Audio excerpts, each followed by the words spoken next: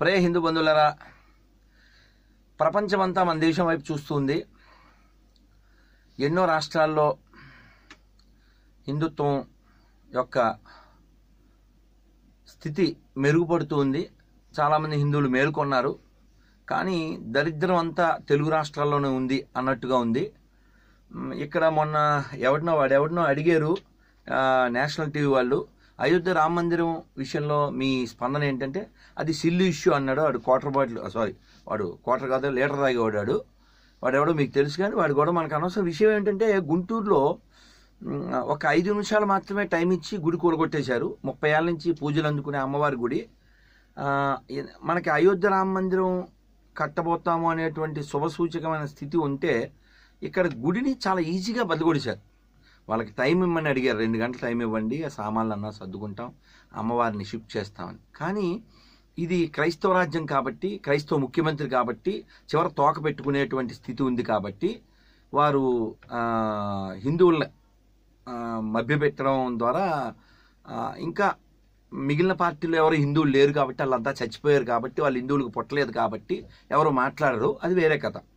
కానీ మనమైతే హిందువులం కదా. మనం హిందువులు పుట్టాం కదా.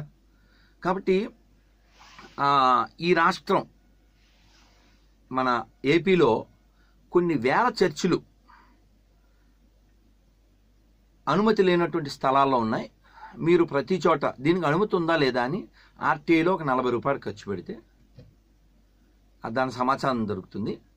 దీని మీద గుంటూరు ఆ సంబంధిత ఆ చుట్టుపక్కల వాళ్ళు స్పందించి ఇది పునర్నిర్మాణం అవడానికి ఏమన్నా చేయగలమా?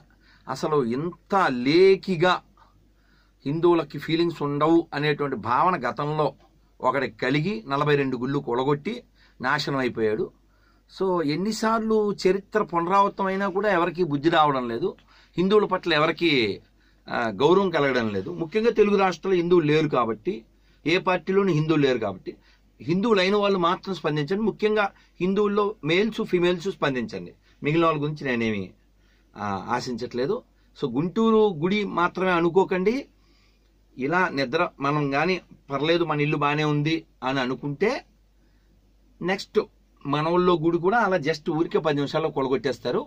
అదేం పెద్ద విషయం కాదు. ఎందుకంటే ఇది క్రైస్తవ రాజ్యం చేయాలనేటువంటి తపనతో వాళ్ళు ఉన్నారు. ఇది సెక్యులర్ ప్రభుత్వం అయితే కాదు ఎందుకంటే చాలా క్లియర్గా కనబడుతుంది మనకి. సెక్యులర్ గవర్నమెంట్ అంటే ఎందులోనూ వేలు పెట్టకుండా ఉంటే దాన్ని సెక్యులర్ గవర్నమెంట్ అంటారు. అంతేగాని గుళ్ళో లడ్డూలకి ధర పెంచేసి దర్శనాలకి ధరలు పెంచేసి లడ్డూలు సైజులు తగ్గించేసేసి గుళ్ళు కూలగొట్టి